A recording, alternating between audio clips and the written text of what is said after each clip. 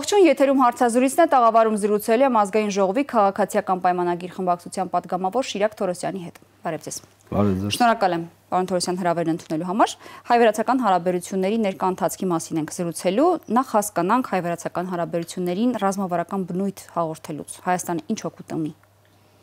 Նշեմ, որ ռազմավարական բնույթ հաղորդվեց հարաբերություններին, երբ որ այս տարի հունվարի 26-ին վարչապետ Փաշինյանի Վրաստան այցի ժամանակ ստորագրվեց ռազմավարական համագործակցության հռչակագիր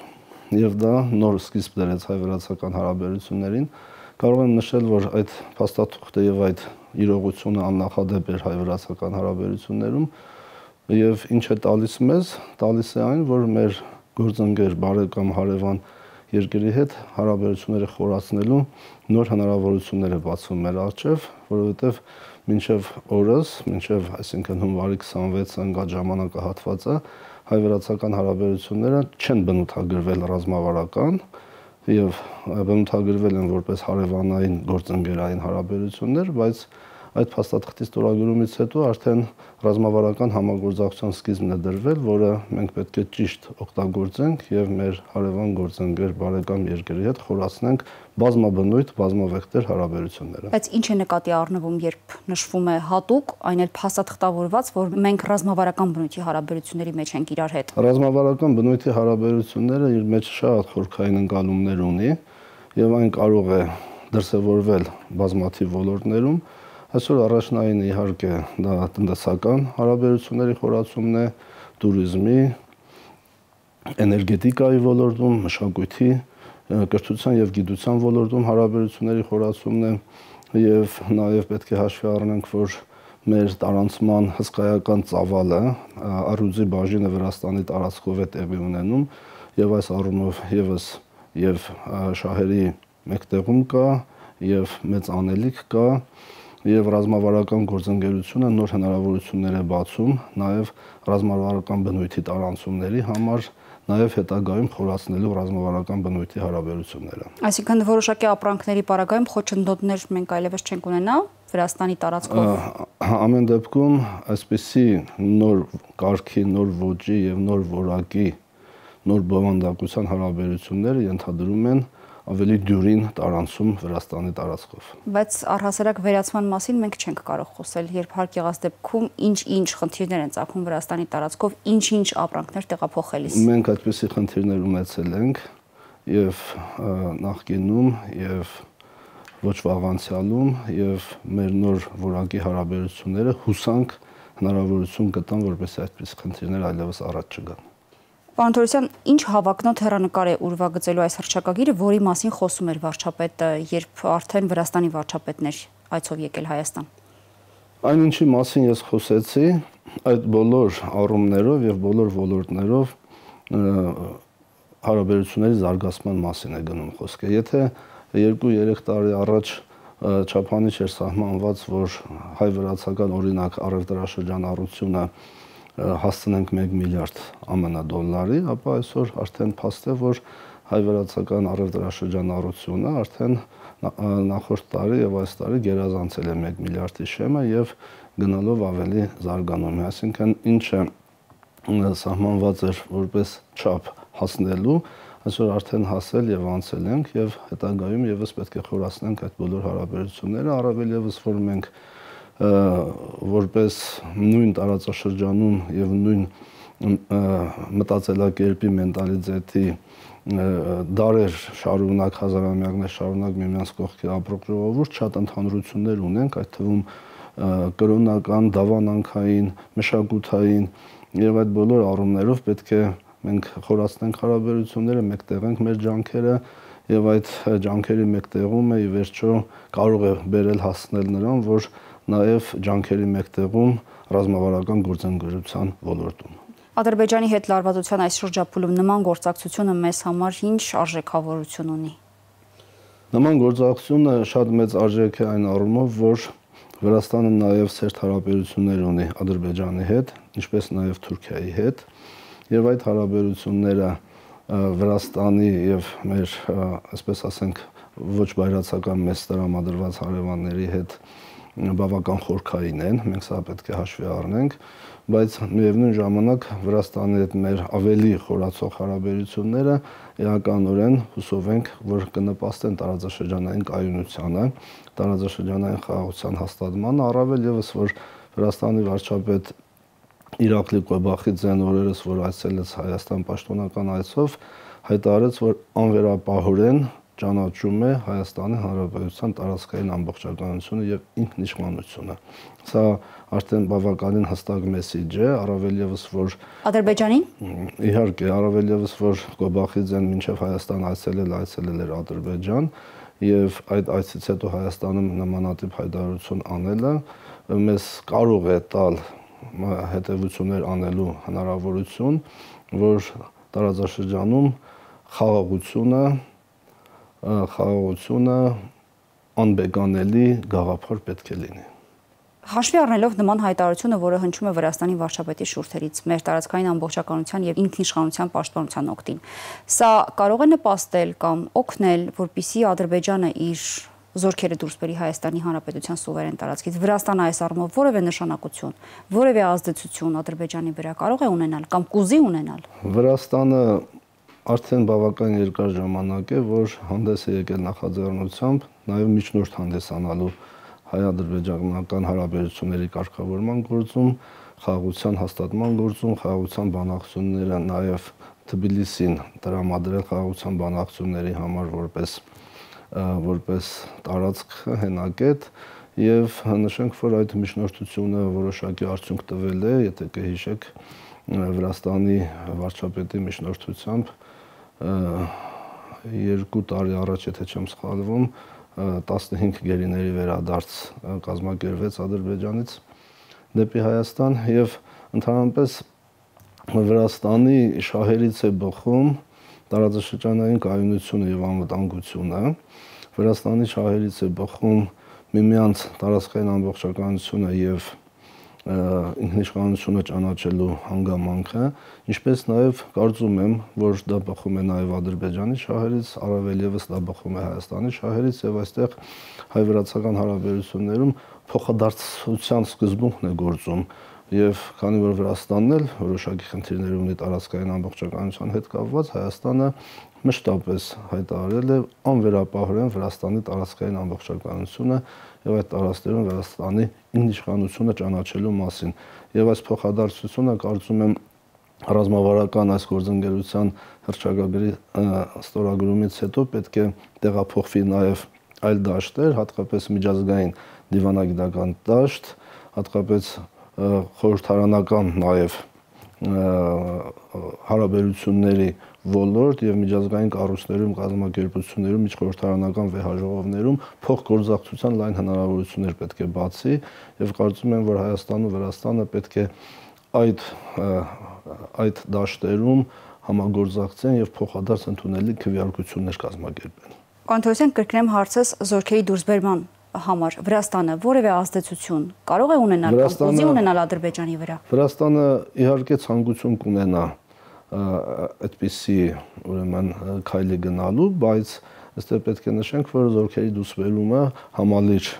մենք իրողությունների մեջ պետք է դիտարկենք, այսինքն սահմանագծման, սահմանազատման, խաղաղության պայմանագրի պայմանագրի ստորագրման համատեքստում, որտեղ Վրաստանը կարող է ազդեցություն ունենալ միջնորդության առումով, միջնորդություն ներկայացնելու կողմերին հորդորելու, որպեսզի քաղաքական կամք դրսևորեն եւ գնան խաղաղության պայմանագրի հետևից բնականաբար Հայաստանը մշտապես եւ ցանկացած առիթով հայտնում իր պատրաստակամություն եւ քաղաքական կամքը եւ այդ հորդորները միգուցե նաեւ կօգնեն Ադրբեջանին մղելու դեպի բոլորիս համար շատ կարևոր խաղաղություն։ Ընդհանուր առմամբ Հայաստանի հետ հարաբերություններում Վրաստանը կարող է ռազմավարական բնույթի քայլեր կամ որոշումներ կայացնել առանց հաշվի առնելու Ադրբեջանի կամ Թուրքիայի կարծիքը։ Հաշվի առնելով թե իրենք ինչպիսի գործակցություն ունեն տնտեսական եւ մնացած այլ ոլորտներում։ Ընդհանրապես միջազգային հարաբերությունները շատ բարդ եւ շատ խառը երևույթ են եւ շատ բարդ է միանշանակ նման հարցերին պատասխան հնչեցնելը, բայց կարծում եմ Վրաստանը ստորագրված ռազմավարական գործընկերության հրճակագրի դրամաբանության շրջանակներում կարող է իրականում շատ բան անել եւ ունի այդ պատրաստականությունը շատ բան անելու։ Առանց հաշվի առնելու Ադրբեջանի կամ Թուրքիայի դիրքորոշումները, որոնք Ես ես չեմ ուզում խոսել մի բանի մասին, որի որոշում կայացնողը ես չեմ, բայց ես հաստատ կարող եմ ասել, որ Վրաստանում կա քաղաքական կամք ռազմավարական գործընկերությունը խորացնելու։ Վանտորյան ռազմավարական գործընկերությունը խորացնելու հաջորդ սանդղակը որը կարող է լինել։ Մենք չենք խոսում, չէ՞, ռազմական գործակցության մասին Վրաստանի հետ կամ չենք պատկերացնում, որ դա երբևէ կարող է տեղի ունենալ։ Եթե ես հնչեցնեմ իմ պատկերացումներ եւ իմ անձնական կարծիքը, ես կարծում եմ, որ հայ վրացական նաեւ սերտ ռազմական համագործակցությունը բխում է երկուստեք շահերից այսօր այդպիսի ռազմական համագործակցության խորքային դրսևորումներ չկան, բայց կան համագործակցության բավականին հետաքրքիր շերտեր,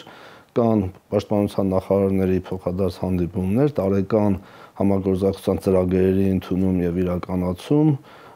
այլ ձևաչափերով պատահում են զորավարությունների համատեղ մասնակցություն եւ այլն, բայց իմ հաստատ համոզմամբ կգա այն օրը կամ իրականում լուրջ քայլեր կատարենք, որպեսզի գա այն օրը, որ հայ-վրացական ռազմական սերտ համագործակցություն լինի։ Եվ այդ համագործակցությունը իմ վստահ համոզմամբ բխելու է երկուստեք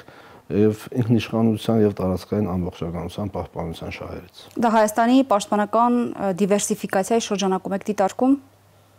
Այդ թվում նաև անվտանգային այդ թվում նաև անվտանգային, ինչու՞ չէ, բայց նաև Վրաստանի անվտանգային դիվերսիֆիկացիայի շրջանակներում առավել եւս որ մենք հարևաններ ենք, բավական մեծ երկար սահման ունենք, Վրաստանը մեր ամբողջ գրեթե հյուսիսային սահմանն է ընդգրկում, մենք Վրաստանի գրեթե ողջ հարավային սահմանը եւ այդ փաստը հաշվի չառնել եւ հաշվի չնստել այդ հանգամանքի հետ պարզապես անհնար է։ Իմիջայլոց հայ-վրացական սահմանի հստակեցման հետ կապված օրակարգը այսօրվա թիվ 1 կարևորության հարցերից է։ Արժի դրան անդրադառնալ այս պահին։ Թիվ 1 կարևոր հարց չի իհարկե, բայց պակաս կարևոր հարց էլ չի եւ Այս վերջին հանդիպման ընթացքում, երբ որ այցելել էր Հայաստան Իրակլի Գոբախիձեն, այդ հարցին անդրադարձ եղավ եւ վարչապետները ձեռք բերեցին փոխադարձ պայմանավորվածություն սահմանագծման, սահմանազատման գործընթացը արագացնել։ Բայց մենք Վրաստանի հետ անգամ սահմանի զգալի հատվածում չունենալով սահմանազատում եւ սահմանագծում որևէ խնդիր իհարկե չունենք, եւ որևէ կերպ դա չի ազդում հայ-վրացական հարաբերությունների վրա։ Իհարկե, սահմանազատումն ու սահմանագծումը կարևոր բան է, որը կարծում եմ մի օր իր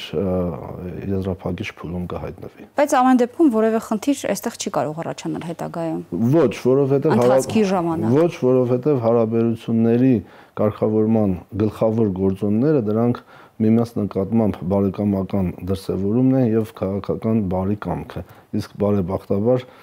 դա այսօր կա եւ Հայաստանում կա եւ Վրաստանում։ Ես դա չեմ կարող ասել, որ կար օրինակ Միխայել Սահակաշվիլու կառավարման ժամանակաշրջանում։ Ամենևին չեմ կարող ասել եւ ակնհայտ էր, որ այն ժամանակ մենք խնդիր ունեինք եւ Հայաստանը ուներ խնդիր եւ վրացահայություն ուներ խնդիր, այդ թվում էր Ջավախքի հայրենակիցները, բայց մենք այսօր ականատես ենք լինում